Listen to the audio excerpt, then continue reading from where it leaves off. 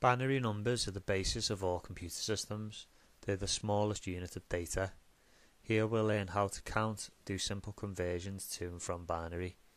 It'd be quite useful if you have a pen and paper and a calculator for this chapter. Computers only understand ones and zeros, so all data, no matter what it is, must be converted to binary. Numbers and letters can easily be converted, but even pictures are read as ones and zeros. In your exam, you will be asked to convert binary to denary and vice versa, so you need to know that denary is what you know as normal numbers.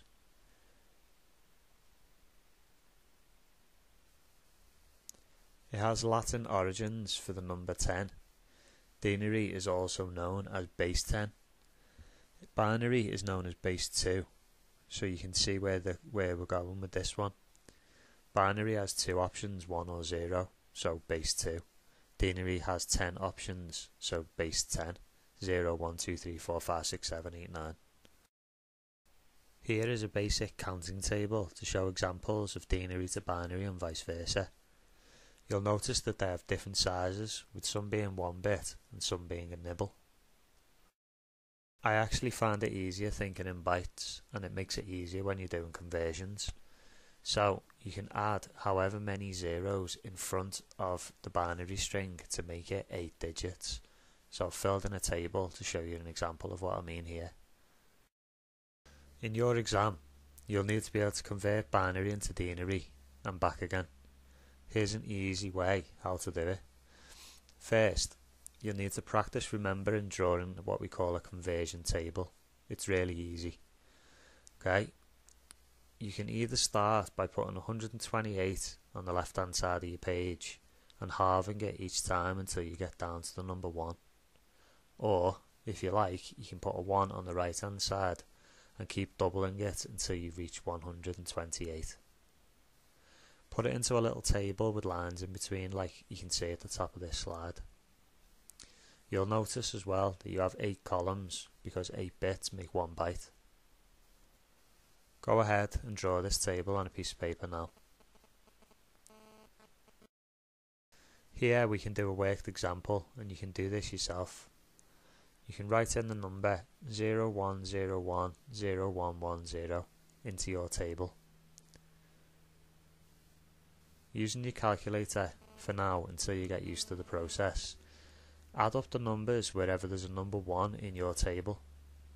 For example, there's a number 1 underneath 64 and 1 underneath 16. So, you would add up 64 to 16.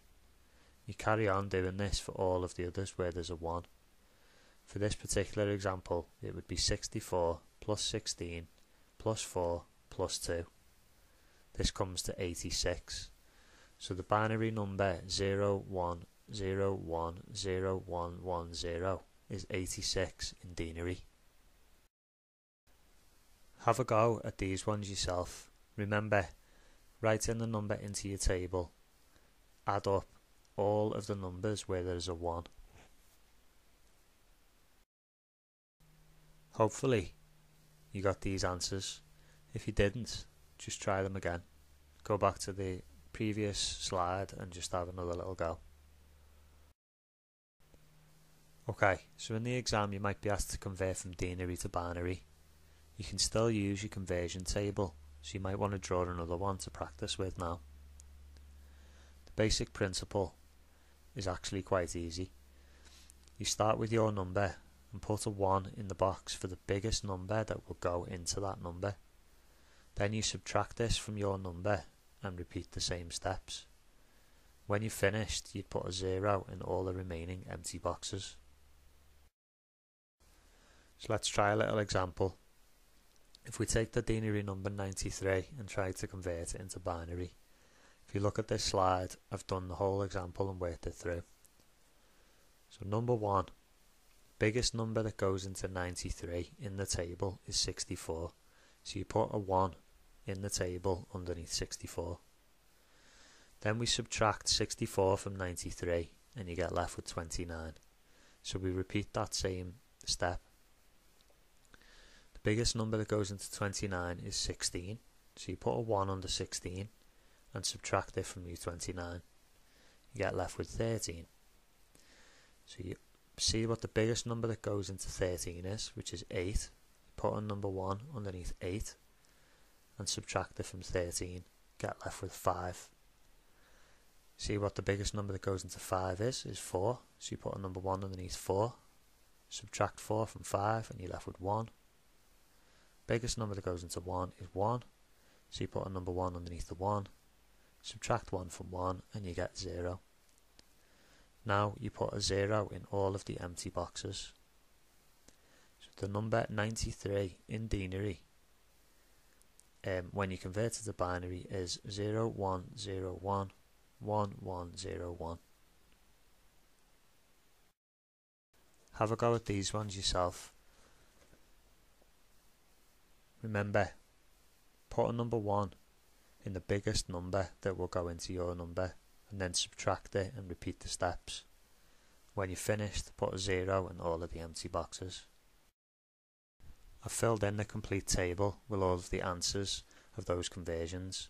Hopefully these are the ones that you got. Again, if you didn't, just go back and have another go. Thanks for watching this video. I hope you found it helpful. Please like and subscribe. Bye.